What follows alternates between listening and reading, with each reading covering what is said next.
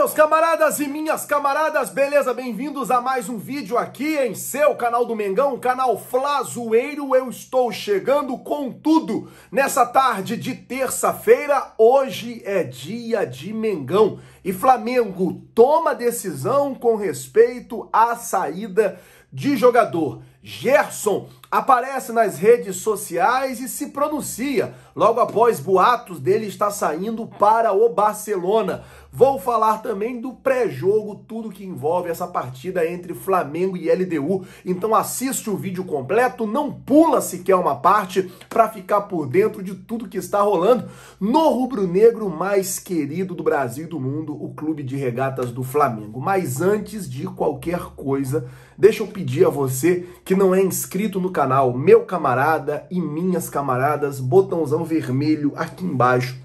Eu sempre falo sobre isso porque é importante demais você se inscrever no canal. Não é inscrito? Botão vermelho aqui embaixo escrito inscreva-se, se inscreve no canal, acione o sino da notificação, deixa o teu like, porque o teu like ajuda e muito o nosso trabalho, o teu like ajuda e muito o nosso crescimento. Fica comigo até o final desse vídeo, porque no final eu vou te falar como você pode ganhar hoje essa camisa aqui, ó, do Gabigol, tá?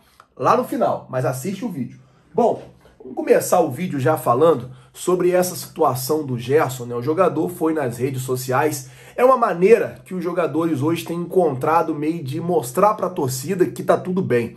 Ele se pronunciou nas redes sociais dizendo: "Hoje tem uma bolinha preta e uma bolinha vermelha. É, vamos, minha família. Um coração vermelho e um coração preto, aquela mãozinha batendo assim no alto, arroba Flamengo. Então ele tá ali meio que se declarando de amores ao Flamengo, mostrando que não tem nada desse negócio de Barcelona. Um dirigente do Barcelona também se pronunciou à imprensa e disse que não há o interesse do clube neste momento no Gerson.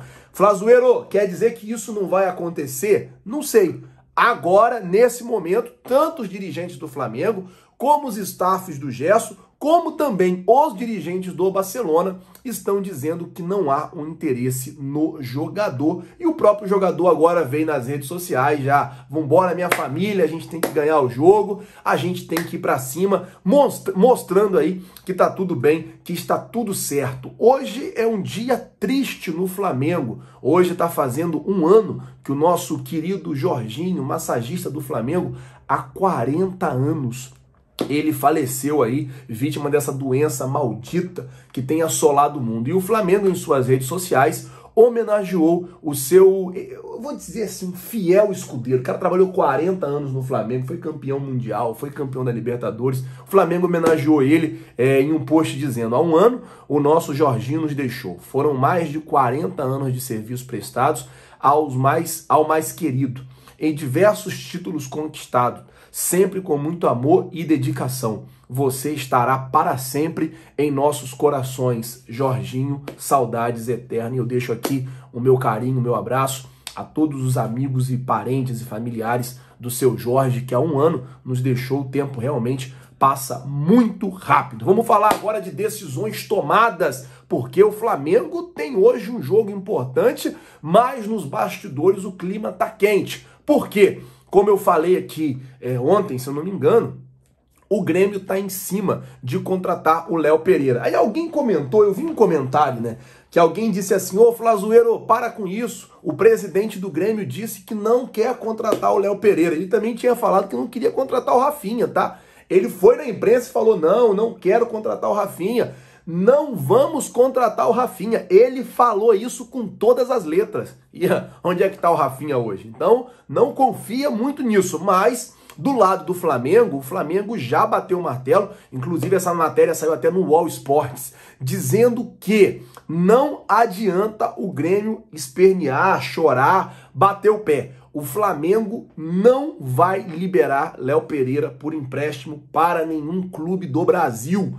A ideia do Flamengo é vender o jogador. Aceita até reduzir o valor da multa, mas não pretende emprestar para nenhum rival direto no Campeonato Brasileiro. Vou dar a minha opinião. Eu acho que, por um lado, o Flamengo acerta para não reforçar o rival, mas por outro, o Flamengo erra. A gente tem o Léo Pereira, que já deixou nítido, deixou claro, que não tá feliz no Flamengo, que não tá bem no Flamengo, e o Flamengo paga um absurdo de salário para ele. Você vai ficar mantendo o jogador também ali? Mano, de fato, eu não sei se essa é a melhor decisão. Eu queria saber de você, torcedor, o que, que você faria se você fosse o Flamengo? Emprestaria o Léo Pereira ou manteria o Léo Pereira mesmo do jeito que ele tá? Coloca, por favor, nos comentários, lembrando que o salário do Léo Pereira não é um salário baixo. Vamos do pré-jogo agora, falar do pré-jogo. Falar do pré-jogo, porque daqui a pouco tem Flamengo e LDU Liga Desportiva Universitária, no estádio Rodrigo Paz Delgado, em Quito. E a LDU vai ter desfalques para o jogo. Lucas Vila, Villarruel. Ele vai cumprir suspensão é, por ter sido expulso no jogo contra o Santos na Libertadores do ano passado. Juan Julio e Frank Guerra, que estão machucados e o técnico deve manter o esquema com três zagueiros. Quem trouxe essa informação foi o Renan Moura. Já do lado do Flamengo, a gente tem o desfalque do Gerson, né, que está com uma lesão na coxa, e a gente também tem o desfalque do Rodrigo Caio entre os titulares. Daí também tem o Thiago Maia, que infelizmente está se recuperando, que felizmente, já pode dizer felizmente, né? Está se recuperando de uma lesão, tá quase bom já, tá quase 100%. E aí o Rogério Ceni tem uma dor de cabeça no meio-campo. Por quê? Ou ele pega e coloca o meio-campo com Arão e com Diego, ou ele pega, mantém o Arão na zaga e coloca o meio-campo com Diego e João Gomes. O Caio Mota trouxe ontem no Globo Esporte que ele fez boa parte do treino, que ele treinou boa parte da segunda-feira com o João Gomes jogando no lugar do, do, do Gerson. Ele deve colocar o João Gomes, por ser um jogador de mais marcação, de primeiro volante, e o Diego, por ser um jogador mais para frente, de segundo volante. É, a gente tem que esperar né, a, a escalação sair para a gente saber ao certo o que o técnico Rogério Ceni vai fazer. Mas eu queria saber de vocês, como é que você montaria esse time? Como é que você jogaria esse jogo? Lembrando, tem a altitude, lembrando, tem questão do jogador cansar, tem o desgaste físico que esse jogo vai ocasionar à equipe do Flamengo. Eu vou falar aqui o meu time, depois vocês comentam o time de vocês. Eu, Guilherme, eu viria com Diego Alves, Bruno Viana, Gustavo Henrique, Isla, Felipe Luiz. No meio, Arão e Diego Ribas. Por que, Flazoeiro? O Diego Ribas tem 36 anos. Normal ele não conseguir jogar, no, tomara que consiga, mas seria no, na, nada anormal ele não conseguir jogar 90 minutos na altitude. Então tiraria o Diego e colocaria o João Gomes no segundo tempo. Na frente, Arrascaeta, Bruno Henrique, Gabigol e Pedro. A mesma coisa. Por que eu teria o Everton Ribeiro no banco? Para ter uma opção caso algum desses três jogadores canse. Porque, galera, é altitude. Correr na altitude é muito difícil.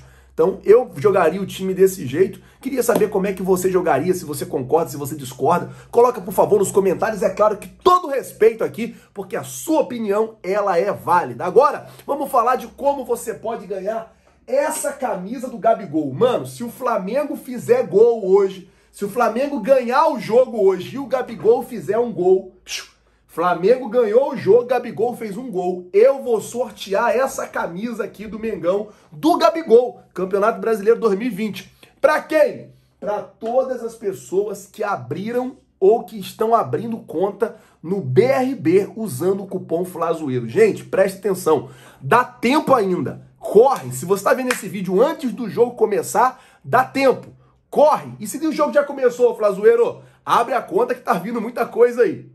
Baixa o aplicativo, vou mostrar a vocês como é que faz para vocês poderem entender. Ó. Abre o aplica, baixa o aplicativo Nação BRB Fla, é de graça. Você não paga nada para baixar, não paga nada na conta. A conta, ela também é de graça. Então a conta é de graça, o aplicativo é de graça. Você vai vir aqui, ó, vai baixar o aplicativo, é esse aqui que tá baixando. Depois que você baixar, você vai colocar é, quero abrir a minha conta, nome, endereço, telefone, CEP. Vai pedir para você bater uma foto do seu documento, você bate a foto do seu documento, vai pedir uma foto sua. Você vai lá, bate a foto sua. Logo depois de você bater sua foto, vai te perguntar se você tem um cupom. Você vai dizer Flazoeiro. Escreve lá todas as pessoas que já abriram usando o cupom. E quem vai abrir agora usando o cupom vai concorrer a essa camisa se o Gabigol fizer gol e o Flamengo ganhar. Então não vacila. Aqui, ó. É muito fácil. Você baixou, tá aqui, eu baixei agora com vocês quero abrir minha conta, é de graça, você não paga nada. E além disso, estou preparando uma surpresa para o dia 17 de maio. Então não vacila, tá bom? Rapaziada, de hoje foi isso. Quem não for inscrito no canal, se inscreve no canal, acione o sino da notificação, deixa o teu like, porque o teu like ajuda e muito o nosso trabalho, ajuda e muito o nosso crescimento. Muito obrigado por tudo. Tamo junto, valeu e é nóis.